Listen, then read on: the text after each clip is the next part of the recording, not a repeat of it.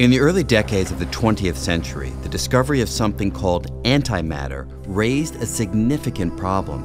This new substance called into question how our matter filled universe could exist at all. Let me explain. In 1928, Paul Dirac came up with a new and elegant equation to describe how particles, like electrons, behave when they travel close to the speed of light. Surprisingly, Dirac found that his equation always had two solutions, sort of how the square root of a positive number always has two answers. Dirac recognized that one solution described the electron, but the other, well, that was a mystery which he first dismissed as a mathematical artifact. He later said it took him three tortured years to summon the courage to claim that this other set of solutions was describing something real antimatter.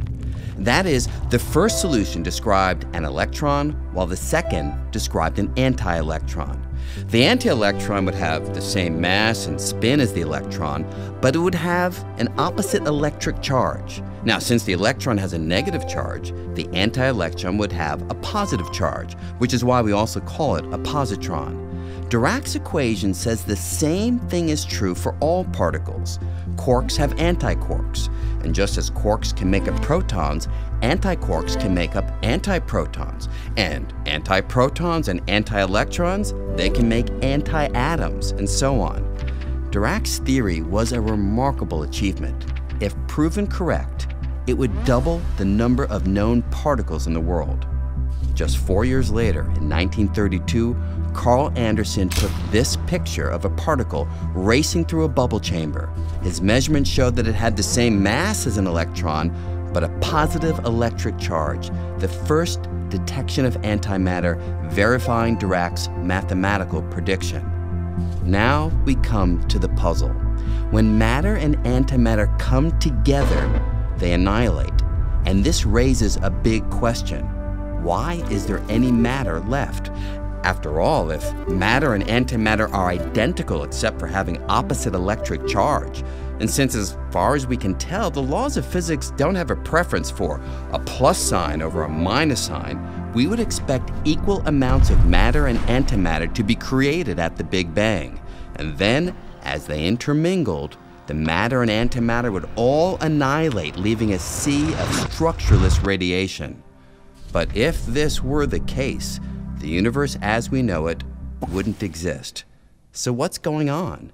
Physicists have been puzzling about this for more than half a century. Some have wondered whether the antimatter got separated from matter and might still be out there, existing as anti-planets, anti-stars, anti-galaxies, maybe even anti-universes. Others have imagined that just after the Big Bang, a tiny imbalance between matter and antimatter somehow crept in.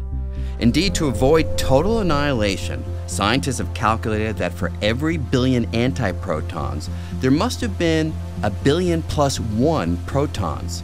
That's a tiny imbalance, but it would have left over just enough matter to make all we see in the universe today.